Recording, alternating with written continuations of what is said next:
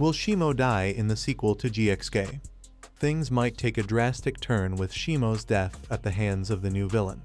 This bold choice serves multiple purposes. First, it establishes the villain's terrifying power. This theory explains that Shimo's death will be a display of dominance by the new villain. Killing an alpha-level titan like Shimo sends a clear message. This villain is a threat unlike any Godzilla has ever faced. Shimo's death could be a catalyst for a larger story. Perhaps the villain seeks a specific goal, like controlling a powerful energy source or awakening an even greater threat.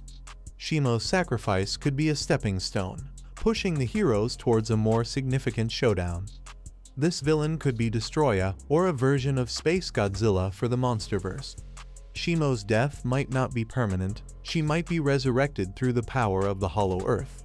She will be a valuable ally for Godzilla and Kong. Future threats will surely force these titans to their limits. Shimo will craft icy platforms for Kong to navigate the battlefield, allowing him to deliver devastating aerial attacks. Together, Godzilla's raw power, Kong's agility, and Shimo's control over ice become a symphony of destruction, turning the tide in favor of the Titans and offering a glimmer of hope for the trembling world.